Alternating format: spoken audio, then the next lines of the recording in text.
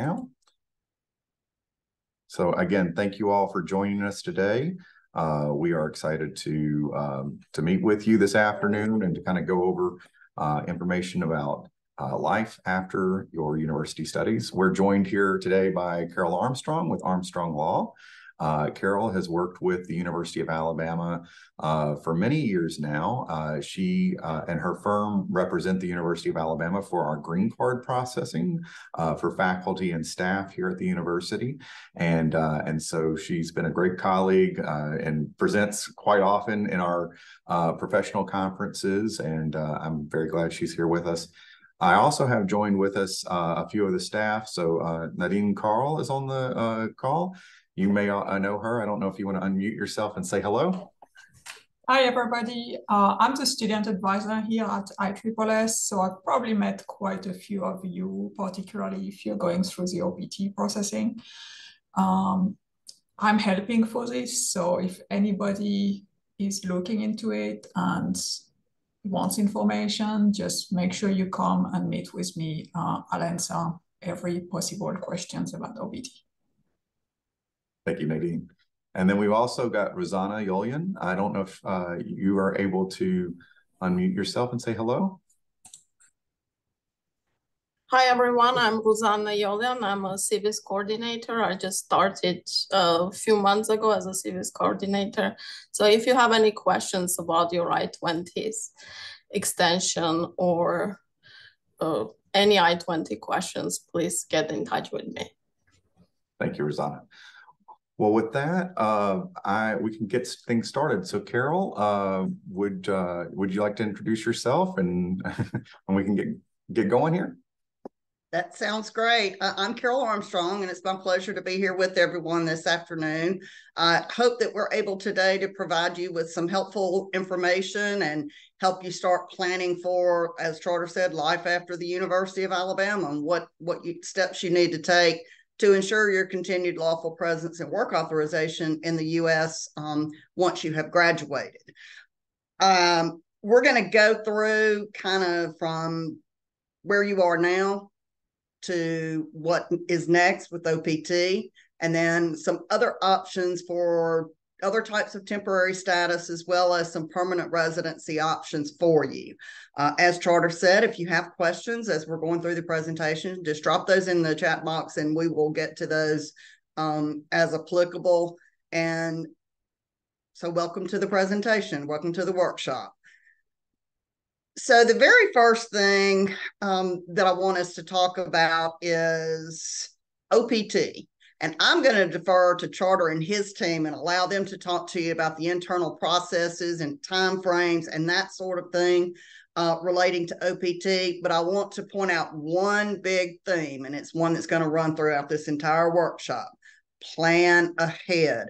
Don't wait until the last minute because you may lose an opportunity that is available to you get in early, ask questions, put a note on your calendar, put a reminder on your calendar, whatever it is you need to do to make sure that you don't miss deadlines.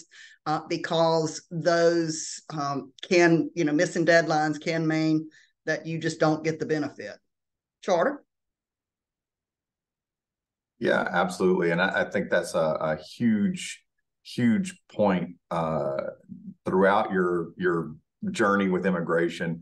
I, I've always laughed at like it, in my younger mind, I thought six months was forever and three years was even more of forever. And now, uh, I mean, you blink and, and five, six years have already uh, passed by. So it planning early uh, for each of your steps is, is important. Uh, and with OPT, uh, that is that is true as well. One thing I was going to do, and I know we've got the this first slide up here, but I was going to drop uh, um, kind of a link, and I'll I'll add I'll bring this over here so everybody can see it. But we do have a page, and it's it's kind of designed for specifically planning for your last semester. Uh, now, on this uh, chat and on this webinar, we might have a few scholars or faculty uh, so if you're on here, some of this is applicable to you as well. But uh, but I can share with you later uh, some slides and some information from our prior session with our international faculty and researchers. Uh, but in this page, we have a final semester checklist and it really kind of goes over those last things, the things that you need to be aware of in your very last semester. And it talks about specifically enrollment requirements, but then about employment on campus, and then about OPT or, or academic training, and about your grace period. So if I come down here to the employment section, it just really stresses that OPT is a one year work authorization uh, that you can get within your field of study. It is possible that you might get a two year extension on that if you're in a STEM eligible field, uh, but you have to submit uh, your application uh, with USCIS early, up to 90 days before graduation and no later than 60 days after graduation.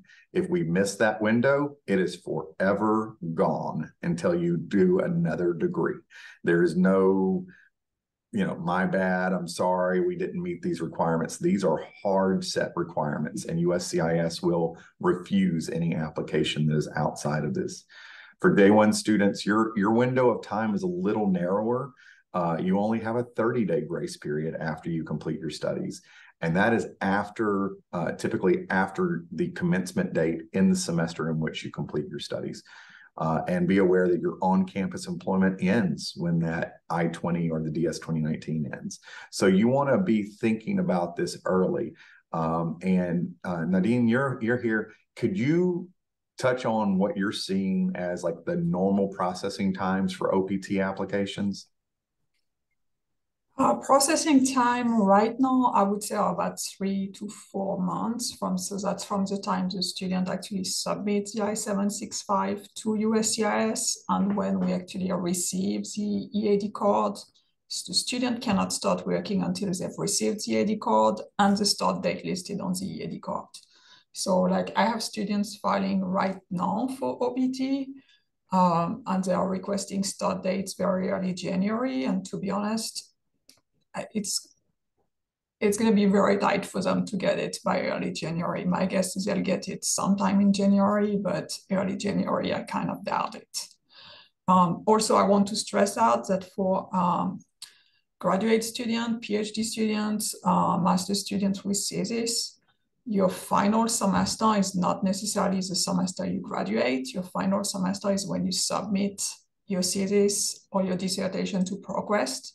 So we shorten your I-20 to the end of that semester and your whole OPT application timeline is based on your program end date. For those of you who are looking, uh, so again, I, we have all this information on our final semester checklist uh, page, but if you go into the current student section of our website, you'll have a lot of things on here, but enrollment requirements and exceptions are there and the final semester checklist are there under the enrollment requirements and sections, we have a whole part on graduate end dates. Uh, now on here, it, it, details for doctoral and master's students, and the vast majority of people who signed up today are either on a doctoral or master's program. Uh, but just be aware that like the timing of everything is really about the submission time for your dissertation or your thesis. If you submit it uh, you know, like at the early part. So let's say for fall 2023, if you had submitted it before August 8th and did not have to enroll in any hours this semester, technically we consider your I-20 and your F1 status to have ended back in August. For those who will be submitting their dissertation or thesis in December uh, and trying to beat this December 19th date, uh, so that you don't have to register any hours at all in the spring semester. Be aware your I-20 ends on December 16th. That's that's the end of the fall semester because you will have submitted it within the deadlines of submission in the fall semester. We consider you complete in the fall semester. So everything, like Nadine said, is tied to your final semester. Uh, so take a look at that. If you have any doubts, any questions, please talk with us we uh, obviously we explain this over and over again and it's a very complicated thing uh, but we are happy to uh, clarify that so that you can make your plans accordingly um, the last thing that i was going to share and uh, of course this bar is blocking my ability to to get to it uh, hold on one second uh, trying to drag this out of place. Here we go. Student employment. If you look here, this is going to get into some of the next segments, uh, but we have a whole section on student employment, which includes OPT, and uh, there's a segment even on uh, the uh, life after um, academic training or, uh, or your practical training. So uh, do take a look at that. And with that, I'm going to move this back over here. Did we cover all the questions, Carol, or uh, do we hit on anything or forget to hit on anything? I, think you covered it pretty uh, pretty well. I think the one thing that if I were uh, a student getting close to graduation that I might want to ask you is how much is this going to cost and and you know if I have a job and they want me to start you know the November the 15th um so is there a way for me to get it quicker than 3 to 4 months Yes, and we didn't touch on that, but one of the big, big changes that has occurred in the last year, there, well, two big changes really. Um, the uh, I-765, uh, which is still a paper form, uh, they have rolled out an electronic filing for certain categories, which includes OPT. So you can file electronically, and ostensibly, that means it will go faster. You'll get an immediate receipt notice. You'll get an immediate case number, which is brilliant. You don't have to wait a week or two. We'll still get the physical copy mailed to us, but uh, but generally speaking, you're going to get that uh, immediately uh, when you file electronically. If that the normal application for uh, OPT, I believe, is four hundred sixty dollars. Uh, Nadine, correct me if I'm wrong. I'm probably wrong. Four hundred and ten. Four hundred ten.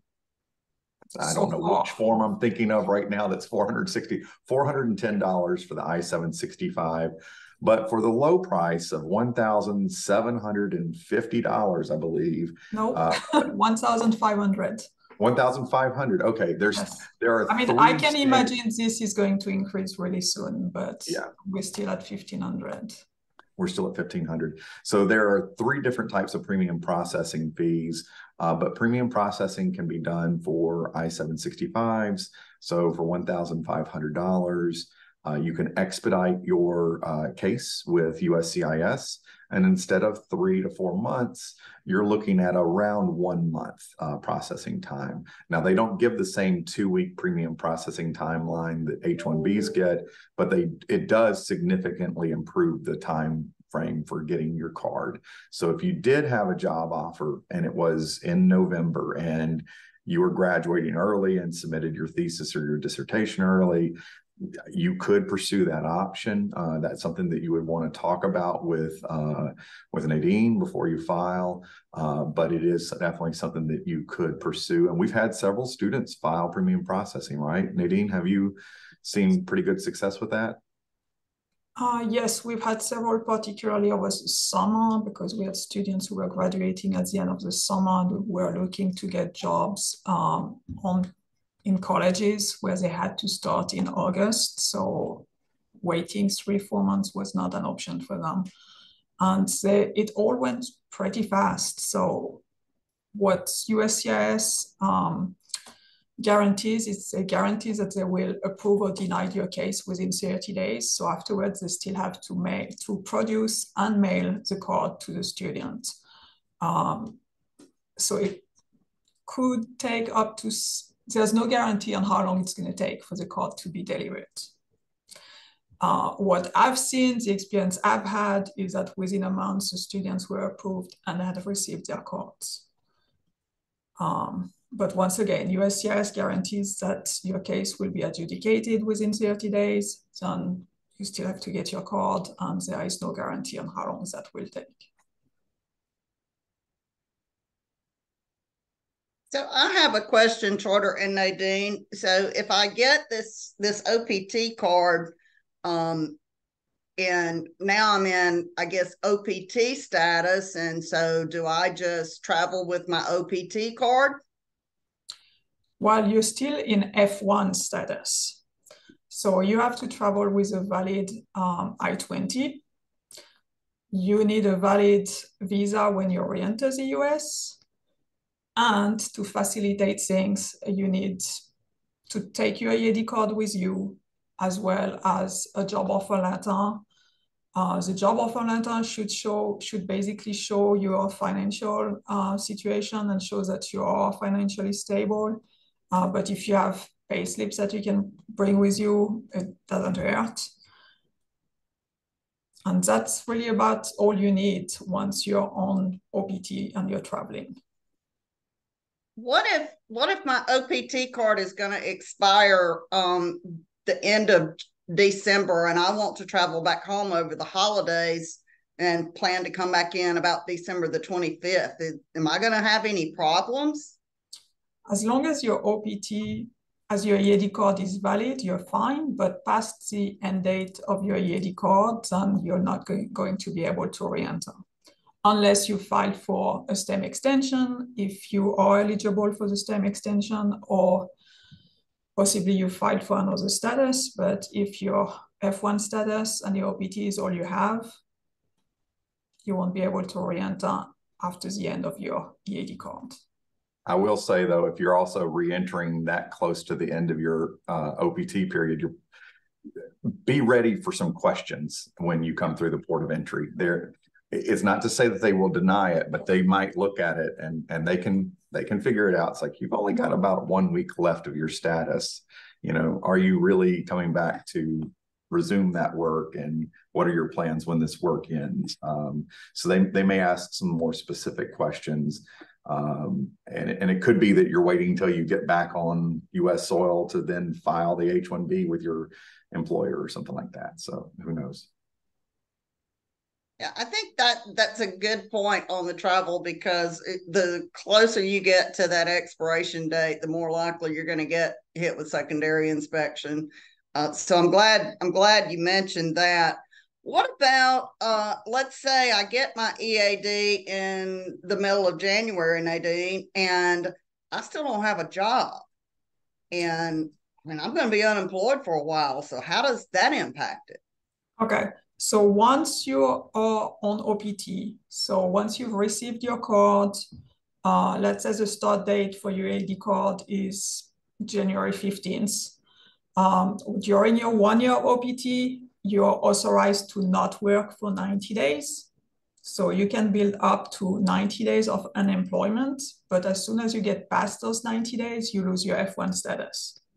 So these 90 days can be used at any time during the one year of OPT. So you could use like one month at the beginning, then work full time for a couple of months and be unemployed again for a little bit. But as soon as you accumulate up to 90 days, you're losing your F1 status. Is that does that rule apply for my STEM extension? It's similar for the STEM extension. So for the STEM extension, if you combine your employment, your unemployment during your OPT and your STEM extension period, so over the three years, you cannot go over 150 days of unemployment. So during your STEM, it really depends on how much you've already used during your initial OPT. We actually have a question in the uh, chat. Uh, somebody asked, is OPT guaranteed for students, uh, especially for PhD students? There's never any guarantees because that goes through USCIS. USCIS is issuing the um, work authorization. Um, but I mean, most of the time, in probably 99% of cases, our OPT um, applications are approved. Generally speaking, OPT practical training is a benefit of your F1 status. So assuming you've maintained status and assuming you've submitted everything on time, that you included the proper filing fees, and you included all the documents requested, and you responded to any requests for evidence, they should approve your case. Uh, so it they, it's it's more about timing and uh, submission of proper documents more than anything else but they can, uh, and, and Nadine has seen this with requests for evidence, they can ask lots of questions. They can say, hey, we want proof that you were enrolled properly in this PhD program and you were maintaining your F1 status. So they could ask for transcripts or they could ask for syllabi from your courses that were listed in your transcripts. They may ask for uh, all sorts of things. Uh, that doesn't happen very often. It's actually quite rare, but you know, it it's within their purview to look at anything to make sure that they know that you are maintaining status throughout your program. Uh, and sometimes if you are a PhD student here, but you are doing your master's or your undergraduate at another university, they may even ask about your history with that institution uh, as an F1 student. So they may look further back than just your time as an F1 here. Uh, so, uh, you know, just be aware of that, not to scare anybody or anything like that. But these are the types of things that we deal with on the employment visa side too, uh, because we are asked again in the H 1B world and often in the green card world to um, to clarify, you know, prior status. So, um, and there is a, another question that came through in the chat. Uh, does anyone have to have an employment offer before being able to apply for OPT? Nadine, would you like to answer that? Oh, you're muted. I'm I'm sorry. Could you repeat the question? Actually, the chat is not showing right for Oh, this one was a direct message. Uh, so, uh, so does anyone uh, need to have an employment offer before applying for OPT? No. So when you file for the initial OPT, you don't need to have a job offer at this time. When you file for the extension, you will need to have a job offer when you're filing for the STEM extension. Okay. And then going back to that, how long could you go without employment? You could go up to 90 days as soon as your EAD start date kicks in. Okay. And then what happens if for some reason you reach 90 days and you never found a job? My advice is to exit the US unless you've started some other type of process. Um, you always have the possibility before the end of your 90 days to transfer to another school or be admitted in another program and get a, a new I-20 for this, but that will have to be done before your 90 days end.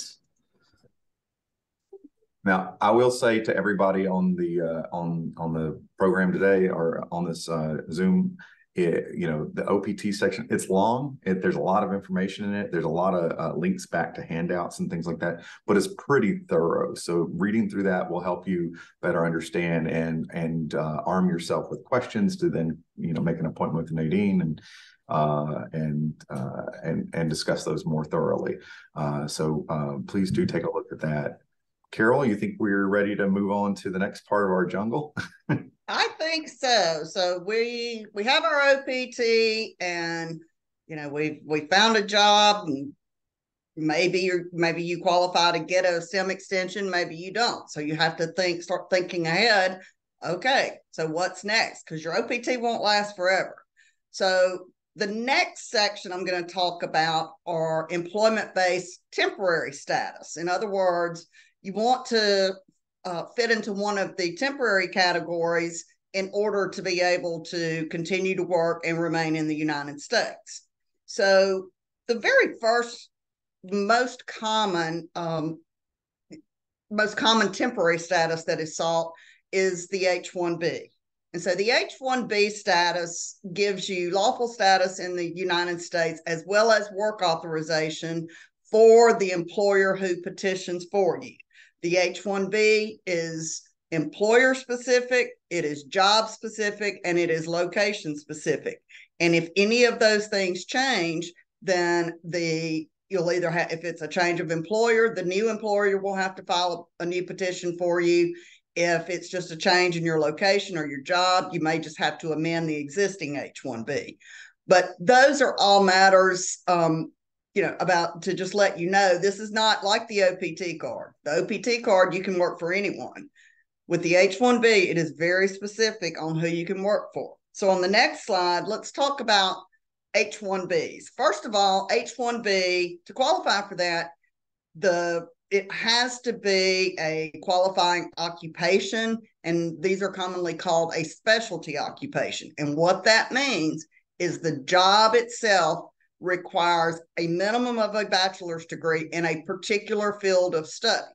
So, for example, a particular fields of study, accounting, civil engineering, um, psychology, you know, social work.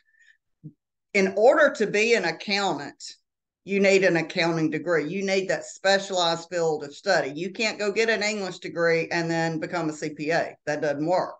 So you want to make sure that the job itself is one that's going to qualify as a specialty occupation and that you have the degree that is required for that occupation.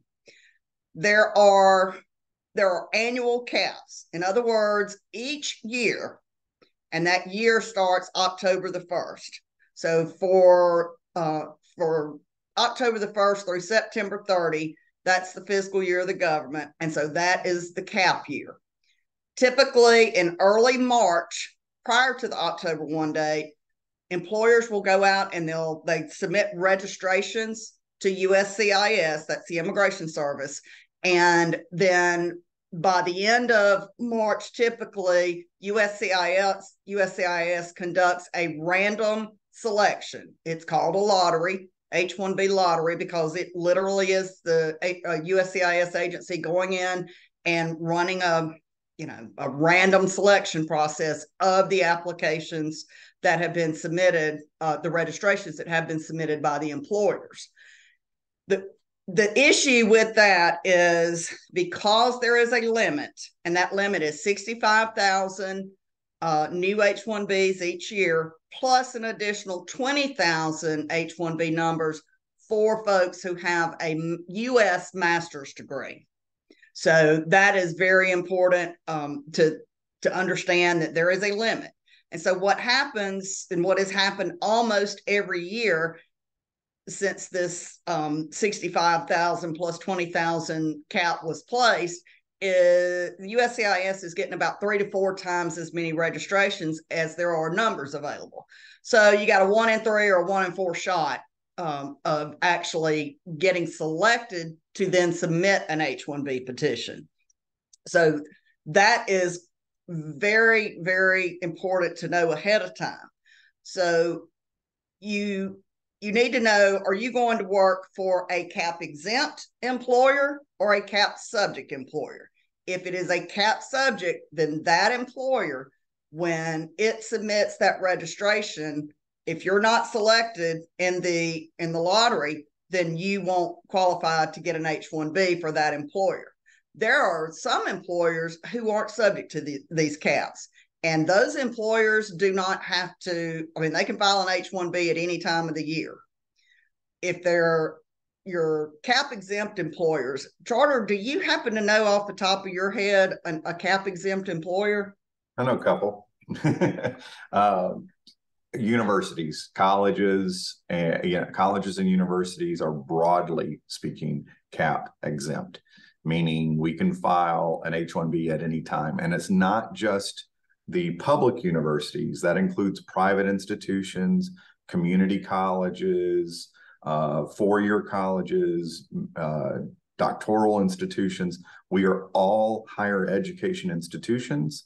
Uh, even your for profit institutions like University of Phoenix is considered a, uh, a higher education institution working for those institutions uh, falls under the cap exempt categories for H-1B filing purposes, meaning they are not subject to this annual restriction on numbers, nor are they uh, subject to like certain times of the year for filing. They can file at any time.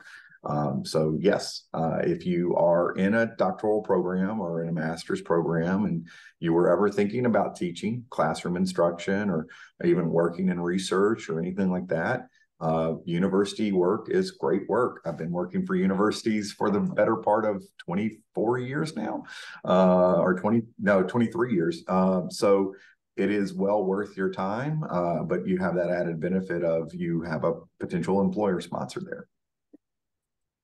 And that's that's very important to think about. Um, do we have anybody from Career Services on the call today? I don't think we got a chance to invite any of the folks from over there. I, I think I invited them to the uh, other session we did uh, yesterday, but not to this session specifically. Okay. Well, what I would encourage you to do as as graduating students is to be sure to sit down and and have a have a session with your career services officers because they're going to have uh, some insight into which of these cap subject employers are for national friendly. You've got some employers that simply will not agree to sponsor uh, foreign national for an H-1B, period. They're just not going to do it. And then there are some that are extremely friendly and happy to, you know, to to sponsor you for an H-1B and maybe even permanent residency. So you you really want to have some conversations with career services and make sure that you're looking in the right direction. Like you know, like Charter said, if you're interested in in working in academia, then you don't have to worry about these caps. But if you are working for a cap subject employer, you have to plan ahead. For example, remember we talked about, um, you know, let's say you're a May graduate and you get your OPT, let's call it July 1st, and you start working and you're working for a company who is subject to the cap. And you're only going to have that OPT until June 30 of the following year. So, February of that following year, your employer needs to be seeking an immigration attorney's advice. And that's the absolute latest because they're going to need to submit that H 1B registration first week of March. And they will know typically by the end of March whether or not you have been selected to then submit an H 1B petition. There are also um, there also can be, you know, a, an additional round of selection, if you will. I've had that. That's happened in, you know, the last couple of years. There's been another round of selection somewhere in, you know, July, August, and that's basically the first round of select selections have until the end of June to file the H-1B petitions. So if some of the ones selected don't file or they are denied for some reason, then those numbers go back into the pool, if you will, and there will be another round of selection run. Let me ask you this though, Charter or, or Nadine, either one. So if I if I get selected and I'm going to file my H-1B petition, but Carol said that uh, the start date's not until October 1. So, but my OPT is going to run out uh, June 30th. So, do I have to leave the United States and quit my job? And I can answer. Well, let me let Nadine answer because she deals with it a lot more often than I do. Um, so there's something called cap gap, which will basically uh, maintain your F1 status and your OPT until your H1B kicks in.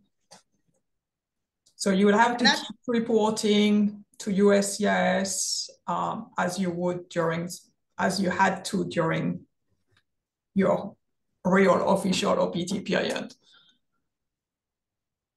So for those of you who are in STEM fields, you're going to have, you know, additional opportunities, if you will, to to try to, you know, to register and try to be selected for the cap subject H1B number. So if you don't get, if you your employer registers the first year, you don't get it, then register. You can register each of the next years. Uh, there is no limit on the number of times that you can register uh, you can't have multiple companies register for you, but you can, you know, have repeated registrations while you are in OPT. Uh, and I've had lots of clients that have, have had to do that, and some got lucky within the three year period, and some of them didn't. Um, so it, it, you know, the odds are not that great. Uh, they're better than Vegas odds, I'm sure, but they're they're not that great. So either you are selected if you're working for a cap cap subject employer and if you're not when your opt runs out unless there are some other options out there or you you know are able to start another you know another degree level then you are probably going to have to leave the united states. Um, keep in mind like we said these are employer and job specific and location specific. Uh, once you keep you you have a maximum of six years that you can be in H-1B status. And so they'll give you a three-year period, plus then you can extend for, for the second three-year period. And then you're done. You have to leave the United States for a year, and then you can come back and apply for a new H-1B. Unless the exception to that rule is if you have started your permanent residency processing and there are some specific timelines for that, then you may be able to extend your H 1B well beyond the six year limit if you're caught up in some of the backlogs uh, for some countries, in particular, uh, permanent residency categories. And we're going to talk about that shortly. Do we have any uh, questions in there for H-1Bs, Charter? If not, I'll move on to the other temporary options. No, no questions on H-1B at the moment. No. Okay. So on the next slide is a list of some other temporary options that could be available to you. One in particular um, that I think can be helpful if you are from Mexico or Canada, you may qualify for a TN. And as long as you have a professional position, you can apply for that, and that will allow you to live and work in the United States. If you have um, exceptional ability in an area of expertise or your skill set, then you can apply for what's called an O visa. If you are working uh, for a company who has made uh, or is engaged in making substantial trade with the United States, and it is on, let's just call it Germany, and the company is owned by a German and you are German, then you may have the be eligible for an E visa, treaty trader or treaty investor. Um, one another one that's not listed here is an E3. If you are from Australia, you can qualify for the E3. The E3 is basically the H1B a special H-1B for Australians is what it boils down to. You have to go basically through the same process, um, but it's just a special program that is only available to you if you are an Australian citizen. The next slide, there are some special types of uh, visas that are available for athletes. It's called a P visa. There are the L visa, that's going to be for intra-company transferees. If you're working for a company who has locations inside the United States and another country, and you go to work for that company outside of the US at its um, operations abroad for at least one year in the last, you know, within the three, last three year period, then the company can then bring you here to the US on an L if you're working in uh, either a managerial or executive role, if you're not, or if you have what is considered specialized knowledge relating just to that company. The um, the B's are for just visitors. That's not really going to get you any employment authorization at all. And then there's a special type of status for victims of certain qualifying criminal activity. Uh, if you have been a victim of a crime and you have reported and cooperated in the investigation or prosecution, it may be worth talking to an immigration attorney to see if that qualifies for the U, because with the U, you get lawful status, work authorization, and you can apply for permanent residency at a later period in time based on being that being that victim of qualifying criminal activity. So there are a lot of temporary options and but I mean each each category has its own specific requirements. So you either qualify for it or you don't but you can at least um, get be informed about the options that are there and have that knowledge when you're when you're going into the workforce or, or applying for a job to be able to discuss it with the employer to see if this is something that they're willing to sponsor you for. Again the, it's really important um, as far as knowing when to talk to the to the company about this. If you're trying to, if you're going to work on an OPT and you've got one year and it's a job that's going to qualify for an H1B, and that's um, and and that employer is subject to the cap, you're going to have to have that discussion with them early on. Uh, if they are a larger company, they may understand exactly what they need to do and already have somebody working on it in there. If they've got an HR department or immigration department, but if if you're going to work for a smaller company who's never hired a foreign national before or never had one that they wanted to keep for a longer period of time you, you're going to have to get them educated a bit. And a lot of times, what I tell um, the foreign national employee to do is, hey, let's set up a meeting with your employer. Obviously, I'll you know talk to them and explain to them what's involved and answer any questions that they may have. And that is usually helpful. So that's something to to to be aware of and to think about. So we've talked about all these different temporary options, but at some point, all these run out. H1Bs will run out. The L's will run out. The E's can run out, although they're not as likely to. Uh, so what what next? I mean, I, obviously, I've got to figure out what I'm going to do when my H1B runs out. And I'm going to be proactive, like Carol said, and I'm going to make sure that I'm planning ahead. And so I'm going to, you know, start having that conversation with my employer about sponsoring me for permanent residency keep in mind that if you go through permanent residency, you are going to have to maintain your underlying uh, non-immigrant status during the during the course of that permanent residency process. And the reason for that is all employment-based permanent residency requires you to have maintained status in order to be able to complete um, your adjustment of status to permanent resident. So just beware of that also, I always get the question, well, how long is it going to take? And I give the standard lawyer answer that everybody hates is it depends because it does depend on a number of factors. And we're going to talk about what some of those are. Next slide. So, one of the most common um, paths to permanent residency is labor certification. And labor certification is um, U.S. law that requires a test of the labor market by a U.S. company to see if any U.S. workers, which would be U.S. citizens or U.S. lawful permanent residents, who uh, qualify for the job and are willing to take the job. And it's intended to protect protect U.S. jobs for U.S. workers.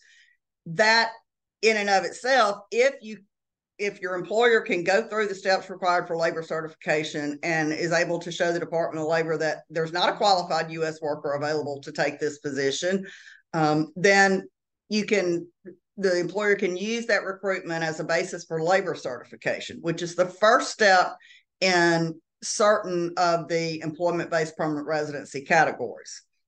So there are there are basically three categories within the employment based preference system for for permanent residency processing. You have employment based one, EB1. That's the first preference. There are much fewer people who are going to qualify that, and we'll talk about some of the options there. Then you've got employment based second preference, EB2. EB2 is going to be for positions that require a master's degree or higher. And those typically the EB2 has a pretty significant demand on it. EB3 is employment based third preference, and those are going to be for your professionals and your skilled workers. That absolutely, you know, if the job does not require a master's degree or its equivalent, then you're going to fall within the EB3 category. So once we know which, uh, you know, the position and what it requires, then we can figure out which of those categories you will be applying in. This is important because the immigrant visa numbers are allocated by category and then by country.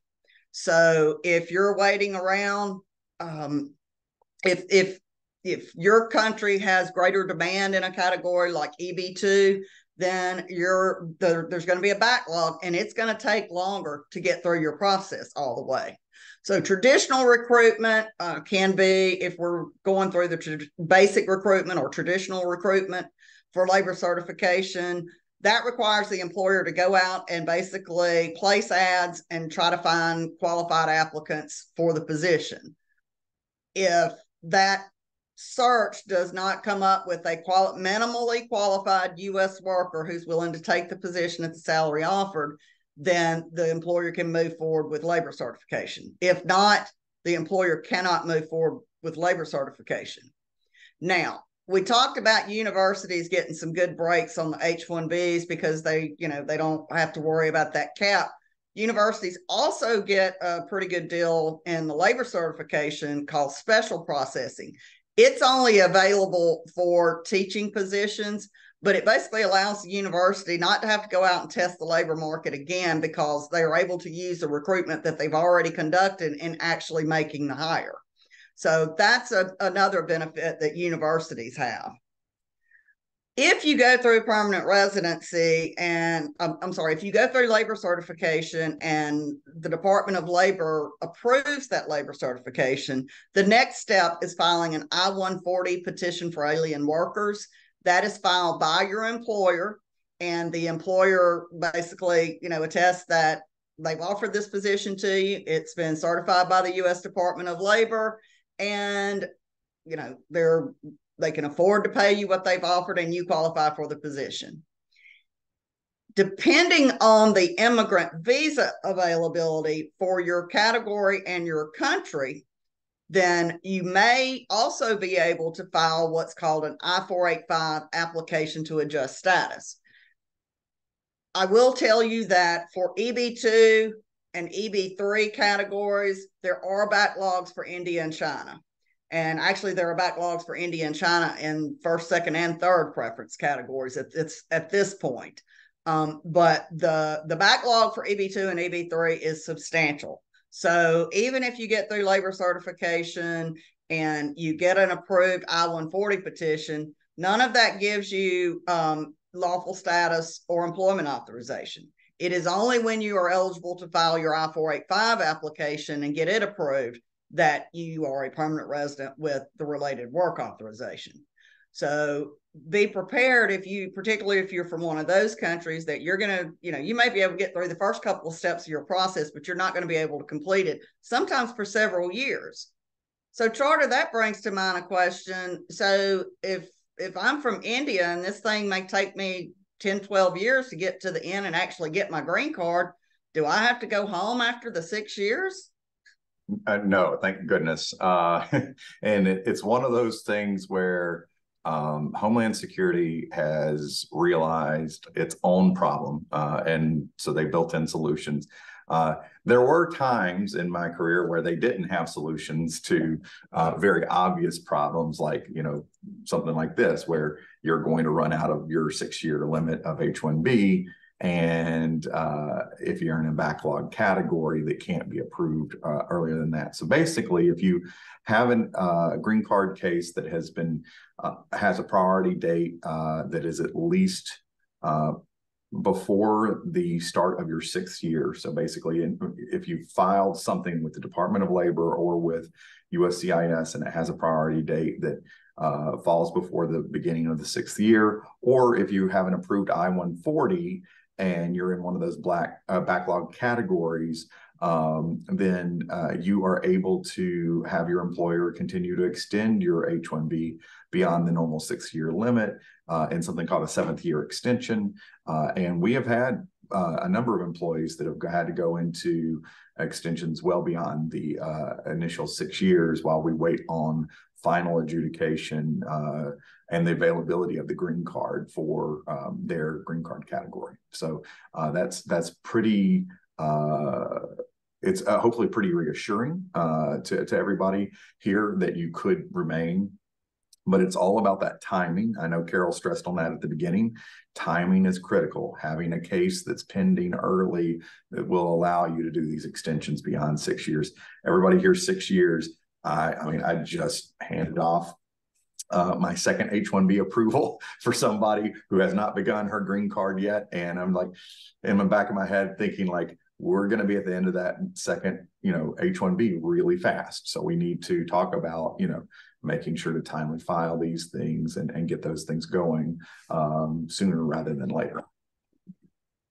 And keep in mind anything involving labor certification in the EB2 or the EB3 category is employer sponsored. So the employer decides whether or not it will sponsor you for labor certification. Um, there, there is some responsibility of the employer to pay for portions of the permanent residency case as well. Um, for labor certification, the cost of recruitment, attorney's fees, the employer has to pay that. They're required by law to pay that. However, um, you are not the employer is not required to pay anything else. They're not required to pay the cost of the I-140 petition or your I-485 application to adjust status. An employer may choose to do that or may choose to, you know, split the cost with you in some fashion, but they are not required by law to do that. They are required by law to pay the cost of labor certification.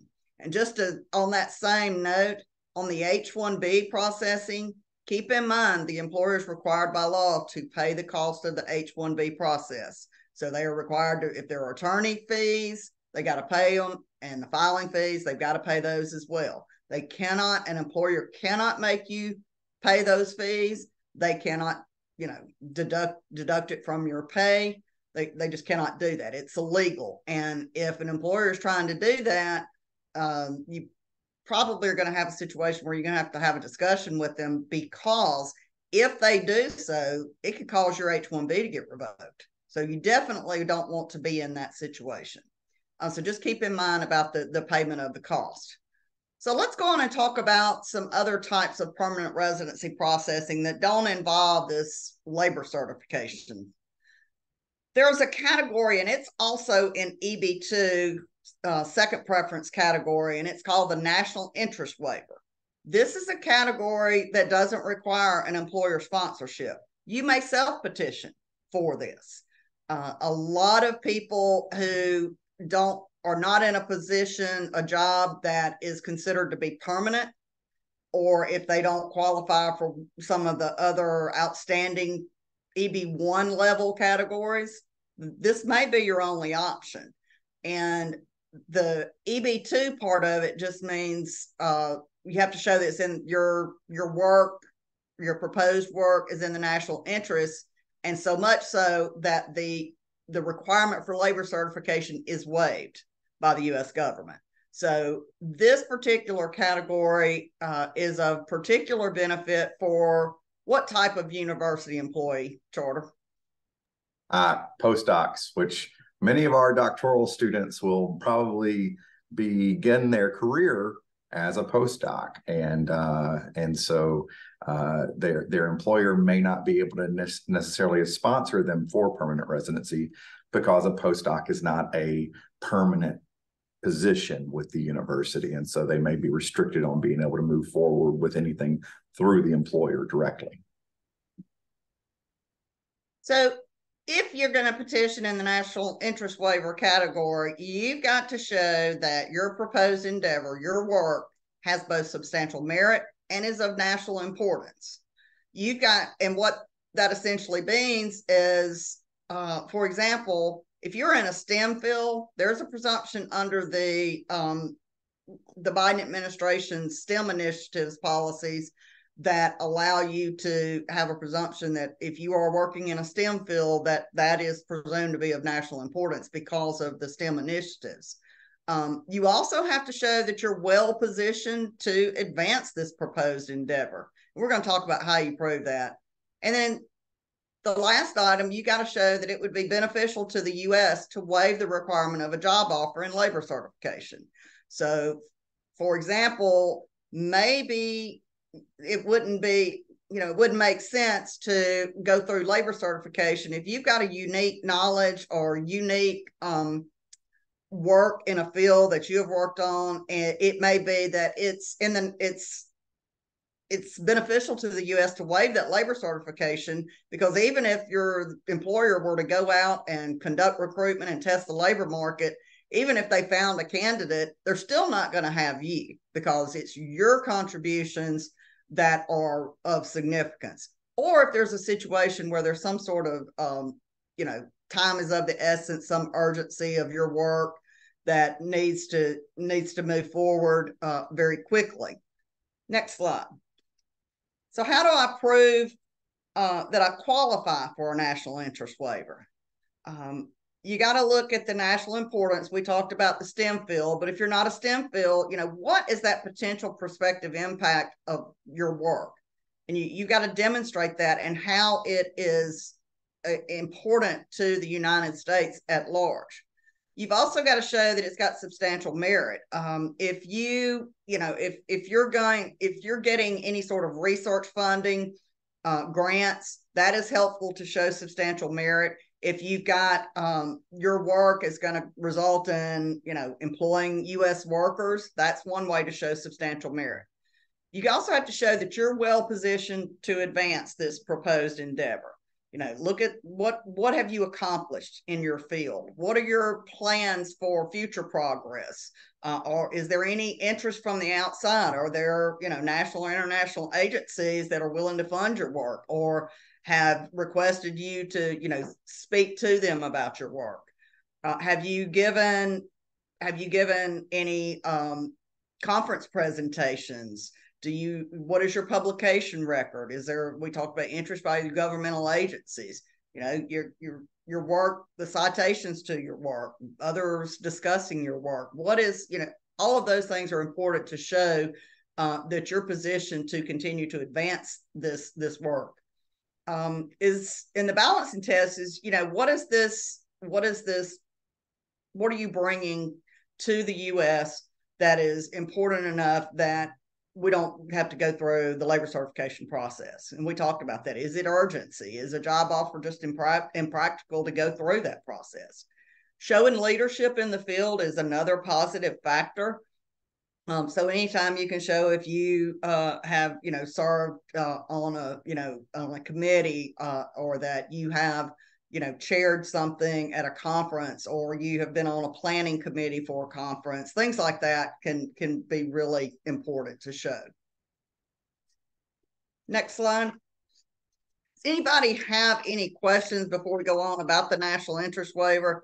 I want to stress that labor certification processing is objective. There are certain things that you have to do. You have to do them within a certain period of time, but if you can click off all those boxes, you will get approved. Not so with the national interest waiver. It is a highly subjective category as well as some of the other e, the EB1 categories. And you know, you you don't want to file this unless you think you've got a pretty good case because they they scrutinize these very carefully. The good news about the national interest waivers that uh, is recent is that now you can actually premium process a national waiver petition. What that means is you basically pay, pay an extra $2,500 to the government for them to uh, get you a response on your petition within 15 days. That has not been the case previously. And, um, you know, a lot of people were filing these and it was taking a year to two years to get to get a response back on whether or not they were approved for the national interest waiver. So it, it's really important, like I said, thinking about timing. If you need, you know, if you need to get a decision on that so you can go ahead and apply to adjust your status to permanent resident, then you, you may want to spend the additional money to get that decision more quickly. I do want to point out, remember how we talked about the backlogs uh, in EB2? For India and China and the backlogs for EB2 and the EB1 categories. EB2 is a lot worse backlog for India and China than EB1.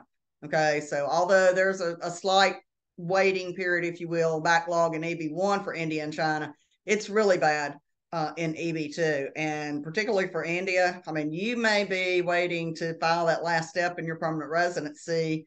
You may be waiting a decade or longer. And Carol, we did have an NIW question. Someone asked, could someone apply for an NIW while they're still doing their master's degree uh, if they've completed a certain number of credits? Your education is one factor that USCIS is going to look at in determining are you well advanced to, you know, to or well positioned to advance your endeavor. That may be difficult if you don't have a doctorate I I have a a case on my desk right now with a guy who is he has a master's degree, but he does not have a doctor's.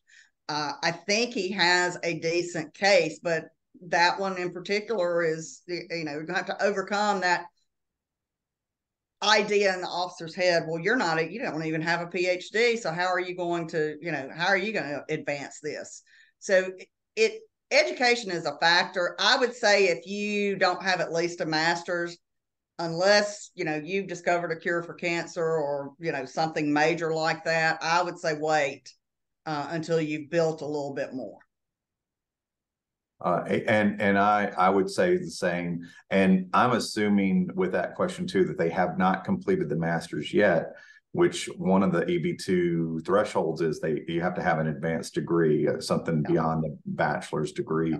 Uh, so uh, yeah, whereas and and the credit question is interesting because here at the university they won't let you teach do classroom teaching until you have I believe, nine credit hours of graduate level coursework in the discipline uh, to be able to teach in the classroom. So, uh, because we typically require masters to teach, but if you're going to be a graduate teaching assistant, uh, they allow you to do it with a, a certain number of credit hours.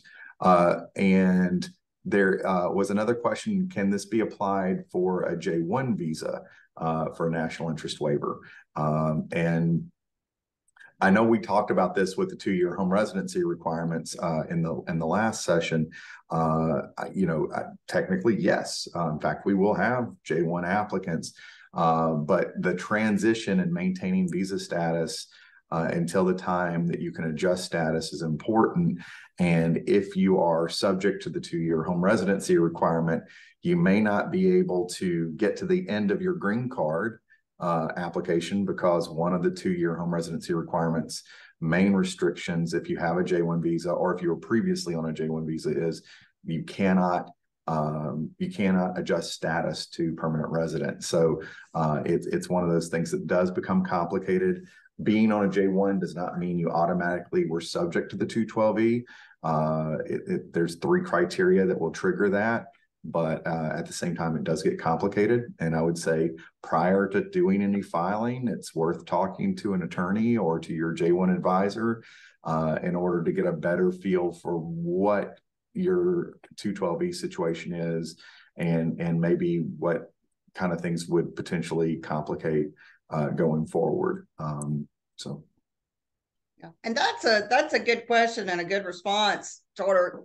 The key here to remember about those um, two-year home residency requirements is you can't change status unless you're changing, you know, to F status, and you cannot adjust status to become a permanent resident until you either serve the two years or you obtain a J1 waiver.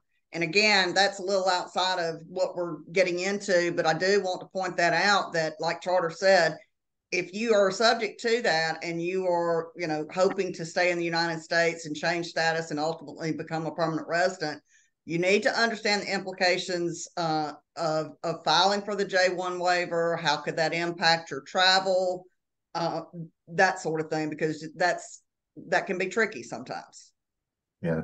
And so um, there was one more NIW question uh, and that is, uh, can you apply for the NIW if your master's degree uh, that you hold currently is from another country uh, and you're pursuing you're pursuing a PhD in the U.S. currently? Yes, short yeah. answer. The short, yeah, you probably will have to get a degree equivalency so that you can show yeah. masters equals masters. Um, we see that a lot with our H-1B filings where we have to show a, a, doctorate earned abroad is the equivalent of a U.S. doctorate. Um, but at the same time, I, I also wouldn't see an issue with that. Uh, for the other question on the national or uh, the two-year home residency requirement, uh, I will uh, touch on that later. Uh, I would say uh, again, for 212E questions, you're probably going to have to make an appointment to see what see us. But generally speaking, home country residence requirement means you must live in your home country to fulfill it. It can't be done in a third country. Uh, it, you, all you're doing by living in a third country is postponing the inevitable. Um, having and I will say this because it, it I, I, it's my personal story to share. My wife was on a J1 when we met, uh, and it was a government funded J1 uh, through the US government. So that's unwaivable. Uh, the US government does not like waiving its own funded programs. And so she and I lived in her home country for two years after we got married uh, in order to fulfill that requirement. Um, and and it they count the days. They literally count the days. I will say that. So we went in armed with documentation of all days spent in the home country, and we we accounted for the brief uh, a couple of weeks that we went to a neighboring country for a business trip and the three weeks we went somewhere else for a vacation because those were not spent in the home country. We we counted down to the day uh, in order to show that we had fulfilled the 212E. Um, and they've actually just yesterday released new guidance to clarify how to count those days, uh, which is actually a, uh, makes it a lot cleaner, I think. Uh, but uh, yeah, two-year home residency requirement if you don't get it waived, must be fulfilled in the home country after you finish your J1. Uh, moving on, uh, let's see here. Carol, do you want to continue with uh, the other categories of self-filing?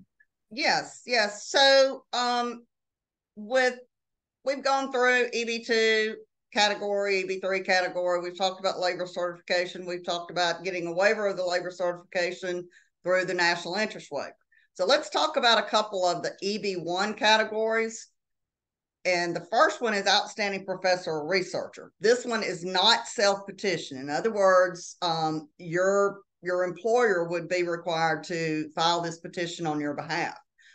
Um, the basic requirements are you have to have at least three years experience in a teaching in teaching or research in the academic area. Um, the teaching has to be full teaching responsibility. So a teaching assistant experience is not going to count. The research typically experience, we want to see that um, being gained post PhD. And that's just because there, there are some additional hurdles that we have if we're trying to count research experience that you uh, gained prior to getting your degree. And you must be in a either a tenure or tenure track teaching position or a comparable research position.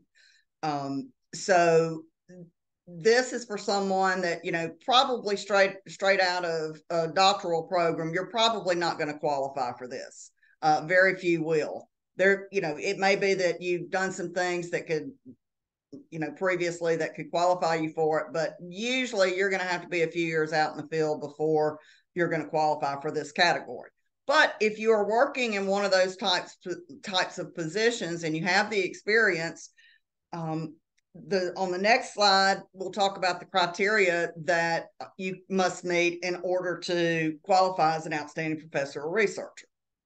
So there are six criteria that are available for you to meet, uh, and the Immigration Service says that these are the criteria that they're going to look at to determine whether you have demonstrated that you've made international impact in your field.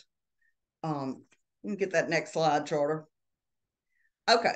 So you've got to prove that you have been recognized in at least two by meeting at least two of these criteria. Um, what I generally recommend is let's try to get see that we've got three because that's going to give you a much stronger case. Um, receipt of major prizes and awards, membership in an association which requires outstanding achievement. That's going to usually be an invited membership. Uh, published material in professional publications that's written by other people about your work. Um, evidence that you have participated as a judge of the work of others. Maybe you're reviewing journals, reviewing articles for journals. Maybe you are on a PhD dissertation committee. Maybe you have reviewed um, reviewed uh, submissions, grant submissions for NSF. Maybe you know those are the kinds of things that they're looking for there uh, authorship of your own publication record is important, and then other evidence of original scientific research. Do you have a patent? Do you have a software license uh, or licensed software? I'm sorry. Do, have you presented at conferences? Those are just one, a few of the ways to prove the criteria there. And I'll point out that you don't want to submit a case that has weak evidence in any of these categories. For example, receive a major prize or award. You don't want to submit, you know, best teacher for the fall of 2023 award. That that's not that's considered very weak and it's not it doesn't meet the criterion.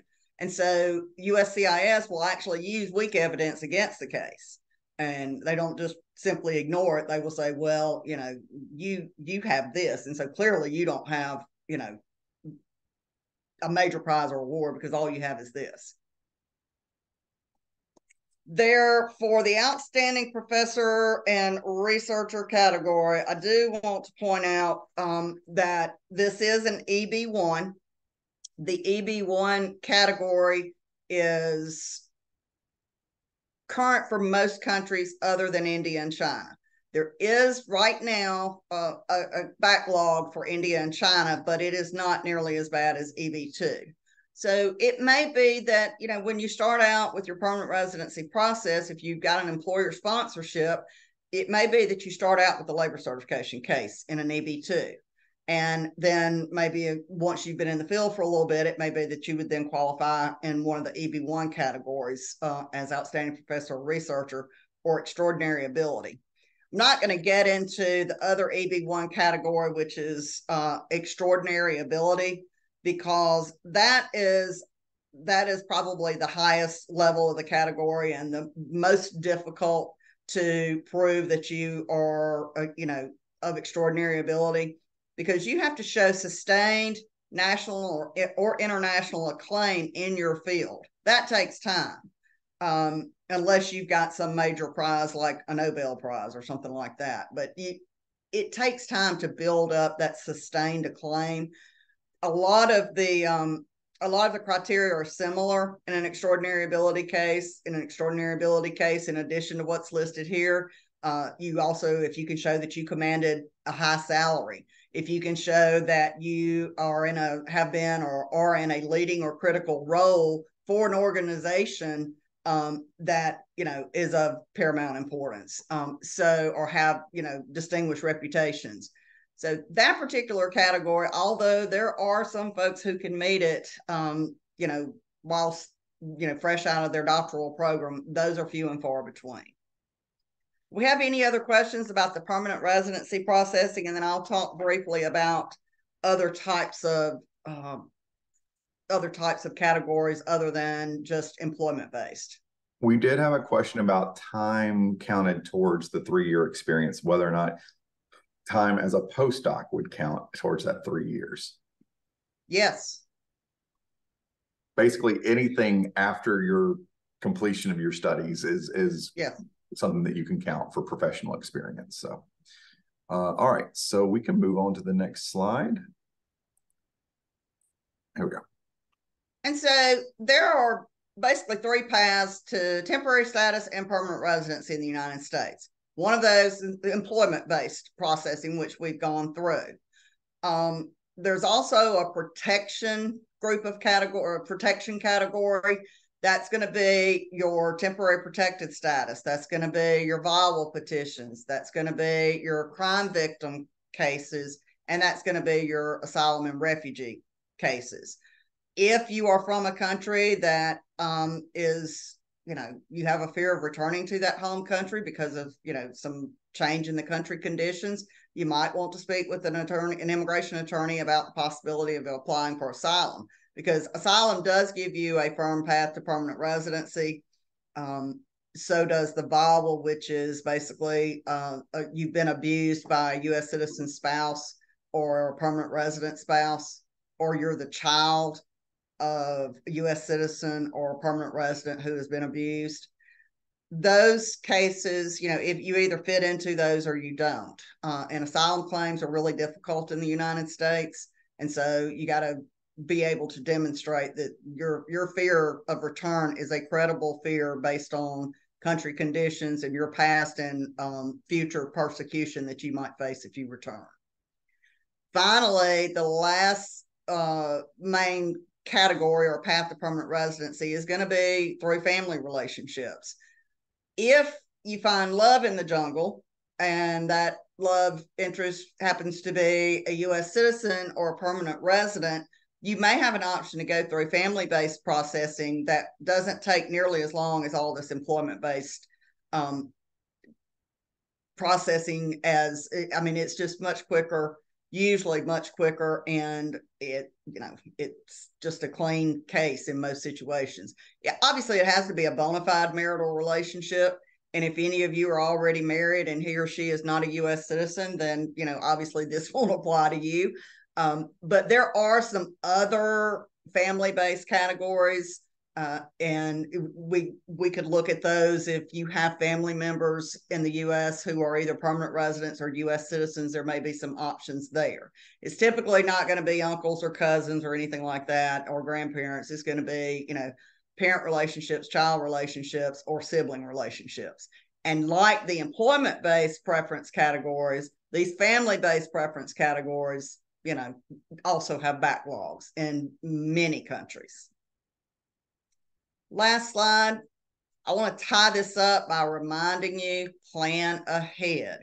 Um, don't wait too long. Make sure you're considering if you have spouse or child dependents, how does this impact them? Um, you know, we talked about, for example, in failing to plan for your children, for example, uh, if you're from India and you're in a backlog, you know, that's 10, 12 years before you can get to the finish line and your child turns 21, that child's not going to be able to adjust status with you and is going to lose that H4 status that that he held. So you just need to really think about, like I say, planning ahead. Don't wait too late. And also keep in mind uh, travel issues. Travel out of the United States can be impacted through, you know, filing for permanent residency. The good news is with H-1Bs and H-4s, you can continue to, you know, to travel with those without a problem. However, on the other temporary categories, not so much. And so you've really got to understand okay, if I start this process, at what point in that process am I going to have a problem if I travel? And so that's where you get, you make sure you get good advice from your immigration attorney about whether or not you can travel during, you know, certain stages of your permanent residency processing. Um, period. That's all I have. I'd be happy to answer any other questions.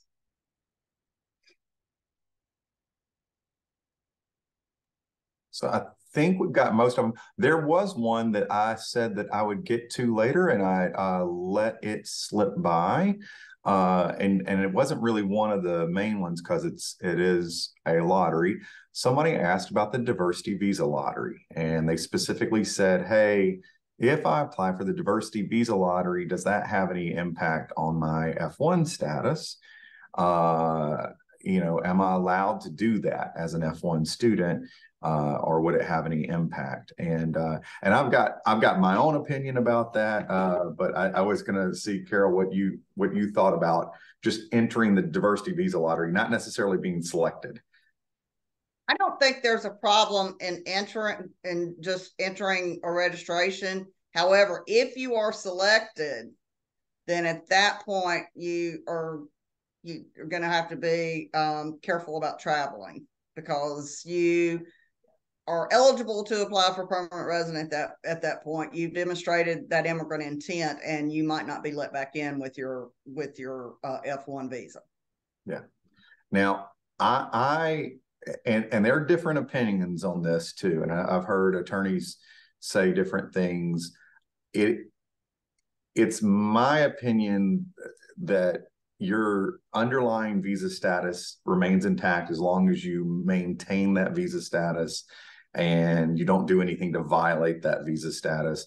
So for us, we typically will recommend, you know, if a student is going through uh, self-petition permanent residency, or if they file for uh, something like diversity visa lottery, get selected, and they go through a green card process like that, as long as they aren't doing anything to violate their F1 status, they continue to enroll full time. They only work within the uh, re the restrictions in the F1 world then everything is fine uh, as far as we're concerned, with the caveat that traveling is not recommended. And we don't recommend that they try to renew a non immigrant visa because they will be denied at the visa appointment, they'll be denied at the port of entry, uh, and could be considered as committing visa fraud to pretend to not have done these other things that prove immigrant intent. Uh, so we usually will put that out there. Um, you know, but yeah, just putting your name in the hat for the diversity visa lottery and not getting selected, I don't think that that has any implication. I do, I have heard anecdotally that someone has, you know, like been asked during other visa interviews, well, have you ever applied even to just put put your name in for the diversity visa lottery? And so that would be like an in, individual visa officer that has kind of a different interpretation. But I haven't seen that play out anywhere with anything else that I've I've filed. So um, anyway, it's it's a good question, um, and it's one that does come up every year uh, because we are nearing the end of that open uh, lottery period too. I think so. Um, yeah, and that selection process is weird. Like it uh, it comes up. Uh, the the deadline comes up and then it's several months before people are, are notified and then uh, then there's another round of notifications and, and it, it, it is a, a long um, long process. There's a couple more questions here in the chat. Uh, what are the stages involved in national interest waiver applications? At what point are you restricted from traveling? Um i'm not sure i understand the question but i'm, I'm going to try to respond. With a national interest waiver if you file your national interest waiver petition, then at that point, um, an officer at the port of entry could take the position that you've demonstrated immigrant intent. So it is usually prudent not to travel during the pendency of that. Now that we have premium processing for NIW, it makes it a you know a lot easier as far as when you absolutely cannot travel, if you are in any status other than H1B or H4, once you file your application to adjust status, that final stage in your process, you cannot travel until you get an advance parole document, which is a travel document. If you do travel before you get that, you will be deemed to have abandoned that application and you won't get back in on your temporary visa. And uh, as a follow up to that, and this is, uh, you, you, talked about forgetting to plan for your family as like keeping them in mind. Somebody asked, as an F1 holder pursuing a PhD, can I file for a national interest waiver while my dependent spouse and child are not yet in the US? Yeah, and that kind of goes back to have you demonstrated immigrant intent by filing that I 140 petition? And if you have, that means you violated your H stat. I'm sorry, your F status, and so they're not your family members are not going to be able to enter on an F. I would say make sure they get here if they're coming on an F-2. Get them here before. Or you uh, now you can start building the case. You can start putting things together. It's it's all about the filing with USCIS. Um, uh, yeah, uh, it would potentially impact them. I have had this happen before. In fact, we had, and I'm not going to mention specific students, but we've had we have a student here who obtained permanent residency, and after obtaining permanent residency here in the U.S., decided to start the process of bringing his family in. And so, sponsoring your family after the fact for permanent residency uh, as a U.S. permanent resident, they're not they're not a derivative applicant now. Now you're sponsoring them as under an I-130 and like he didn't include them in his petition. And so that made it extremely difficult. Uh, and, and I'm sure that that's come up other times too. And backlogs for sponsorship at, for a U.S. permanent resident sponsoring a spouse or U.S. permanent resident sponsoring a child uh, they're real. Uh, I, I, don't I don't look at the family based case uh, categories, but I know Carol, you do a lot of family based cases, but uh, that is definitely a a longer wait period than uh, if you're just doing it all at, at one time, right? That's correct. Yeah. Uh, would it cause any trouble to travel to attend conferences for professional purposes while in the process of permanent residency? It depends what your status is. If you're H1B or H4, by all means, you can continue to travel during the entirety of the process. If you're in any of those other temporary categories that we were talking about, you do not need to travel until you get get that travel document. I'm actually having that conversation with someone who's a, a new faculty member here at the university. Uh, he uh, has a green card uh, pending independently uh, and is currently on OPT and has is eligible for STEM OPT. And so, you know, the question is like, well, you know, why should I go forward with an H-1B if I've got these three years of work eligibility? And like, I, I know it's it sounds like you don't really need it. However, you may, as a professional, as a faculty member, be asked to travel on behalf of the university or attend conferences, in which case that H-1B is going to be critical for being able to do that um, because H-1B is a dual intent category. Uh, so, oh, someone has asked, uh, does having a U.S. green card mean I'm no more a citizen in my home country? Do I become a dual citizen? Uh, and permanent residency is different than citizenship. Uh, so I, I, that that needs to be clarified. Um, and and and Carol can talk about this because once somebody gets permanent residency, uh, you know, our office we serve non-immigrants. And so uh, we still of course welcome everybody. We like having the american kids and the uh, us permanent residents and everything. But at the same time our our advising kind of stops at the permanent residency. So we can't help with the transition to U.S. citizenship. But uh, a green card is not the same thing as citizenship. Although I've anecdotally heard of some countries that do consider once you become a U.S. permanent resident that you're no longer a citizen of your home country, uh, and they may uh, confiscate your your travel documents. Those are usually very restrictive countries, and so I, I think you would have to find out what your own country's take is on that.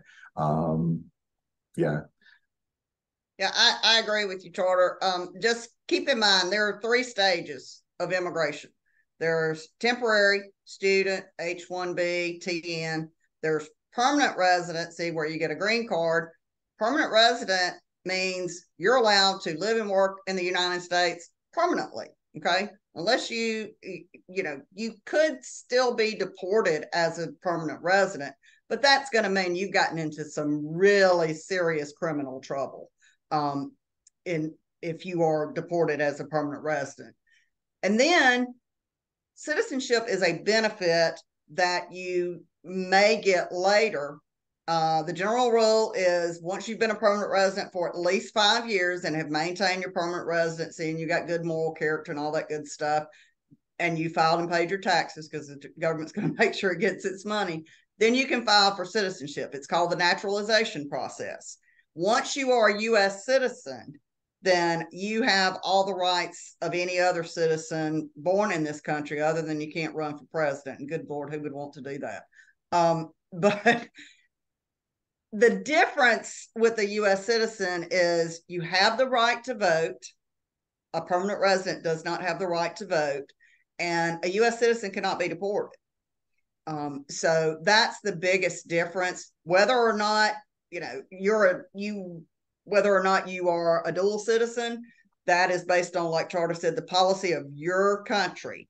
Because the US government when it issues you that certificate of naturalization they're not going to take your passport for your home country. But again there are some countries that basically will revoke your citizenship and that's you know that's based on that country's laws not the US laws.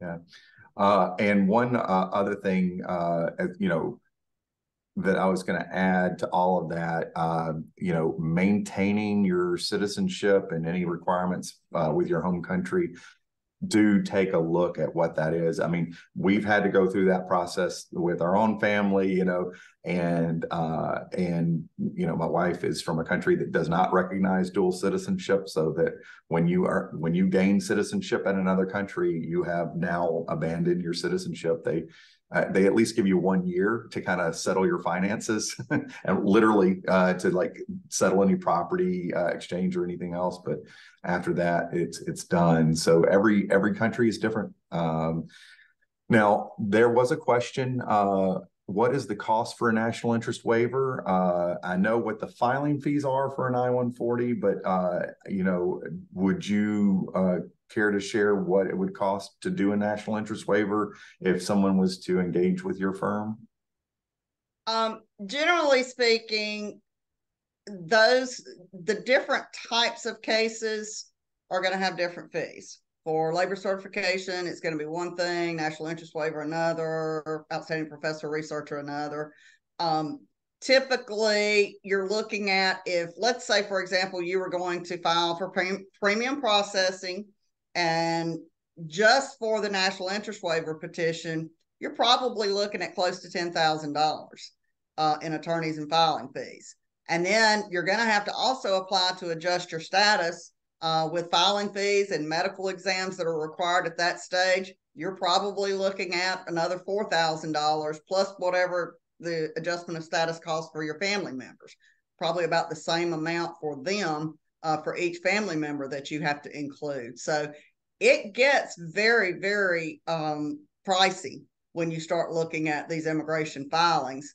But if you look at the benefit that you receive at the end of it, then of course it's well worth the money. But it's just, you know, be expect to, you know, to have to put some savings toward these types of, of processes. And as and as bad as it sounds, it's still less than one semester of tuition at the University of Alabama. so I, I, that's my little joke at the end, but that's unfortunately very true for our non uh, non-resident tuition is is around fifteen thousand dollars per semester. So um, it, it, sounds like a bargain. Uh, thank you so much, Carol. I, I don't know if anybody else has any questions. I did put in the chat. I will be sharing the recording after this uh, my last joke and all. Uh, so I, I, will share that back out with everybody as well as the slides. Um, and so look for that. It does take Zoom a very long time to finish compiling the video and everything. So after we were done with this morning session, it was sometime around two this afternoon that it finished up. So that was about two and uh, a little over two hours later, two and a half hours later. So it may be tomorrow before we share anything out because I don't know that I'm going to be here at eight or nine o'clock tonight when this finally finishes up. But uh, I do thank everybody for uh, taking the time to be with us this afternoon. Uh, Carol, huge thanks to you for taking the time to speak with our students and with our scholars and our departments. This is her third session, so we we've taken up a lot of her time in the last couple of days, but we we truly appreciate that. Uh, and if the students on this uh, Zoom recording have any questions, uh, you can always touch base with us. We can't really uh, advise on, you know, self-petition cases or anything like that, but we can talk with you about uh, everything uh, related to maintaining your visa status with us and and kind of uh, making that ease of transition. So we really do uh, uh, want to make sure that you have the resources you need and can point you back to uh, resources when we can't help you. So. Well, I appreciate the opportunity. I hope this has been helpful for everyone, and I wish you all a great afternoon. All right. Thank you, everybody.